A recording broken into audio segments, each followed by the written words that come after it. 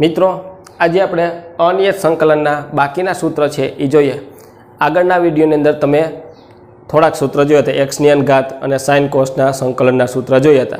આજે આપણે બાકીના સૂત્ર જોઈએ. તો મેં અહીંયા બોર્ડમાં લખ્યા છે. આપણે સમજીએ. સંકલન એકના છેદમાં એક્સનો વર્ગ વત્તા એનો વર્ગ. આ ચલ છે અને આ અચળ પદ છે. એનું સંકલન થાય વન ઓપન એ, એટલે કે અચળ પદ હોય એ એ લખવાનું. અહીંયા વર્ગવાળું છે, તો આપણે વર્ગ લખવાનું નથી, વન ઓપન એ લખવાનું. ટેન ઇન્વર્સ એક્સના છેદમાં એ વત્તા સી બીજું સૂત્ર છે એકના છેદમાં એક્સ વર્ગ ઓછા એ વર્ગ. અહીંયા મિત્રો પ્લસ હતું ને, અહીંયા કેવું છે? માઇનસ તો પ્લસ ને માઇનસને કારણે ડિફરન્સ ઘણો પડી જાય છે. આનો જવાબ છે, one upon a tan inverse એક્સના છેદમાં એ વત્તા સી જ્યારે માઇનસ હોય એકના છેદમાં એક્સ વર્ગ ઓછા એ વર્ગ ડીએક્સ હોય, તો એનું સંકલન થાય one upon two a. One upon two a log માનાંકમાં x ઓછા એ છેદમાં એક્સ પ્લસ એ વત્તા સી હવે ત્રીજું સૂત્ર. આમાં આમાં ડિફરન્સ શું છે? અહીંયા એક્સ વર્ગ ઓછા એ વર્ગ છે. તો અહીંયા એ વર્ગ ઓછા એક્સ વર્ગ છે. એ વર્ગ ઓછા એક્સ વર્ગ ઊંધું છે. આ એક્સ વર્ગ ઓછા એ વર્ગ છે, તો અહીં ઊંધું છે. તો એનો જવાબ બદલી જાય. વન ઓપન ટુ એ આની જેમ જ લોગ પણ અહીંયા અંશમાં માઇનસ હતું. તો અહીંયા શું થઈ જશે? પ્લસ એક્સ પ્લસ એ છેદમાં x minus a plus c.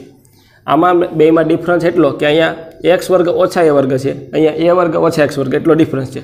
તો જવાબમાં અહીંયા સરખું, આ લોગ સરખું. અંશમાં માઇનસ છે અહીંયા, તો અંશમાં શું છે? પ્લસ.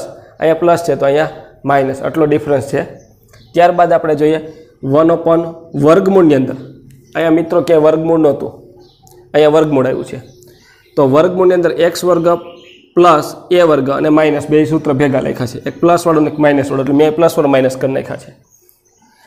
વર્ગમૂળની અંદર એક્સ વર્ગ પ્લસ એ વર્ગ હોય કે વર્ગમૂળની અંદર એક્સ વર્ગ ઓછા એ વર્ગ હોય, બે સૂત્રને ભેગા કરે છે, પ્લસ ને માઇનસ લખીને. તો એનો જવાબમાં ફેર એટલો લોગ એક્સ પ્લસ વર્ગમૂળની અંદર એક્સ વર્ગ પ્લસ વાળો માઇનસ એ વર્ગ.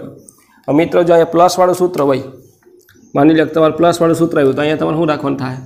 પ્લસ. માઇનસવાળું સૂત્ર હોય તો અહીંયા શું રાખવાનું? માઇનસ. તો આ બે સૂત્રને મેં ભેગા કર્યા છે. ખાલી ડિફરન્સ એ છે. પ્લસવાળું સૂત્ર હોય તો અહીંયા પ્લસ લખવાના. માઇનસવાળું સૂત્ર હોય તો અહીંયા માઇનસ ફરીથી બોલીએ કે સંકલન એકના છેદમાં વર્ગમૂળની અંદર એક્સ વર્ગ પ્લસ વર માઇનસ એ વર્ગ ડીએક્સ એનું સંકલન થાય લોગ માનાંકમાં એક્સ પ્લસ વર્ગમૂળની અંદર એક્સ વર્ગ પ્લસ વર માઇનસ એ વર્ગ માનાંક પૂરો વત્તા સી આમાં આમાં ડિફરન્સ અહીંયા એક્સ વર્ગ વત્તા એ વર્ગ છે. અહીંયા ઊંધું થઈ ગયું. એ વર્ગ ઓછા એક્સ વર્ગ.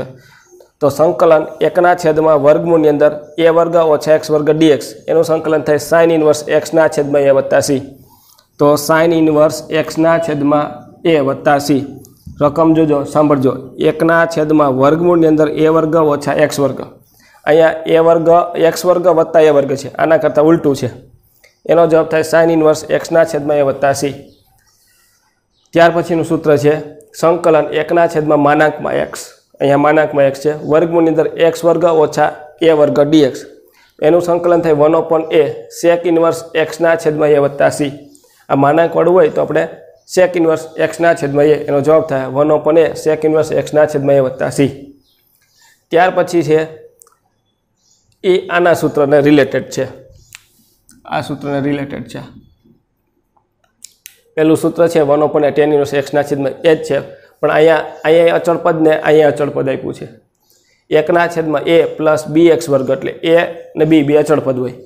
તો જવાબ લખવાનો એકના છેદમાં વર્ગમૂળમાં એ બી. ટેન ઇન્વર્સ એક્સના છેદમાં એ વત્તા સી. મિત્રો સાંભળજો, અહીંયા વર્ગ નથી. અહીંયા આપણે વર્ગ હતો. અહીંયા વર્ગ નથી, એટલે એને કારણે આપણે વર્ગમૂળ આવ્યું અહીંયા વર્ગમૂળ કાઢો, એ વર્ગનું વર્ગમૂળ કાઢો, એટલે એ થાય. એ પ્લસ બી એક્સ વર્ગ. એકના છેદમાં એ પ્લસ બી એક્સ વર્ગ. એનું સંકલન વન ઓપન વર્ગમૂળની અંદર એ બી ટેન ઇન્વર્સ એક્સના છેદમાં એ વત્તા સી. ત્યાર પછી ટેન એક્સ. તો મિત્રો ટેન એક્સનું સંકલન થાય લોગ માનાંકમાં સેક એક્સ પ્લસ સી. આ થોડુંક અલગ છે. ચાર સૂત્ર. આગળના વિડીયોમાં હતા સૂત્ર. એના કરતાં અલગ છે એટલે મેં પછી રાખ્યા હતા. ટેન એક્સનું સંકલન થાય log માનાંકમાં sec x plus c. Cot x કોટેક્સનું સંકલન થાય લોગ માનાંકમાં સાઇન એક્સ પ્લસ સી કોટેક્સનું સંકલન લોગ માનાંકમાં સાઇન એક્સ પ્લસ સી પછી કોસેક એક્સનું સંકલન. કોસેક એક્સનું સંકલન થાય log માનાંકમાં tan x by two plus c ફરીથી બોલું. કોસેક એક્સનું સંકલન log માનાંકમાં tan x by two plus c ત્યાર પછી છે sec x dx sec x ડીએક્સનું સંકલન થાય log માનાંકમાં tan x by two plus pi by four plus c. ફરીથી બોલું. સેક એક્સનું સંકલન log માનાંકમાં tan x by two plus pi by four plus c. મિત્રો, આ બે વધારાના સૂત્ર સાંભળજો. એફ એક્સની એન ઘાત એફ એક્સ એટલે કોઈ પણ વિધેય હોય. એફ એક્સ એટલે કોઈ પણ વિધેય અથવા કોઈ પણ રકમ હોય. એની પર ઘાત હોય. અને બાજુમાં એનું વિકલન હોય. F dash x f dash x એટલે એનું વિકલન.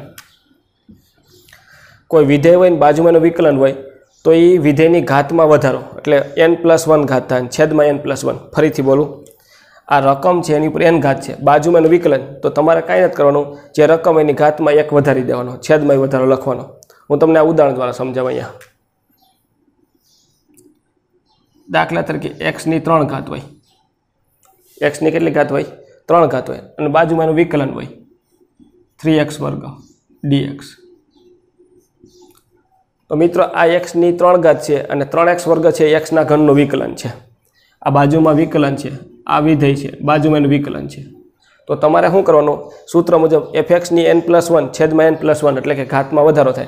તો એક્સની ત્રણ ઘાત છે એમાં એક વધારી દેવાનો. ત્રણ વત્તા એક. એટલે ડાયરેક્ટ લખીએ ચાર છેદમાં ચાર વત્તા સી તો આ તમને મેં ઉદાહરણ આપ્યું. આનું કે વિધેય હોય, એની ઉપર ઘાત હોય, બાજુમાં વિકલન હોય, તો ઘાતમાં વધારો, છેદમાં વધારો. આ વિધેય છે. બાજુમાં એનું વિકલન છે, તો આ જે વિધેય છે એની ઘાતમાં વધારો ત્રણ હોય તો ચાર, છેદમાં ચાર. એવું જ અહીંયા છે કે અંશમાં વિકલન હોય, નીચે મૂળ રકમ હોય એફ એક્સ છે મૂળ રકમ છે, ઉપર એનું વિકલન છે, તો એનો જવાબ થાય લોગ માનાંકમાં એફેક્સ વત્તા સી ફરીથી બોલું. સંકલનમાં આ મૂળ વિધેય છે, ઉપર એનું અંશમાં વિકલન છે, છેદમાં વિધેય છે, અંશમાં એનું વિકલન હોય, તો એનો જવાબ થાય લોગ માનાંકમાં એફ એક્સ પ્લસ સી એનું ઉદાહરણ તમને યાદ આવું અહીંયા લખું. કે માની લો કે આ વિધેય છે. એક્સની ત્રણ ઘાત. આ વિધેય છે. તો એનું વિકલન થાય થ્રી એક્સ વર્ગ. એ થઈ ગયું. આ મૂળ રકમ છે એક્સનો ઘન. એનું વિકલન થાય થ્રી એક્સ વર્ગ. તો રકમનું ઉપર વિકલન છે. તો અહીંયા જવાબ પ્રમાણે લોગ માનાંકમાં મૂળ વિધેય. તો આનો જવાબ થાય લોગ માનાંકમાં મૂળ વિધેય એટલે એક્સનો ઘન પ્લસ સી તો આ લોગ માનાંકમાં એક્સનો ઘન પ્લસ સી એનું રકમનું સંકલન થયું. તો આ બે સૂત્રો સમજાઈ ગયા. આ વિધેયની ઉપર એન ઘાત હોય, બાજુ વિકલન હોય, તો ઘાતમાં વધારો, છેદમાં વધારો. આ રકમ હોય અથવા વિધેય હોય, એનો અંશમાં વિકલન હોય, તો લોગમાનકમાં વિધેય થાય તો મિત્રો, આ હતા આપણા અનિયત સંકલનના બાકીના સૂત્રો.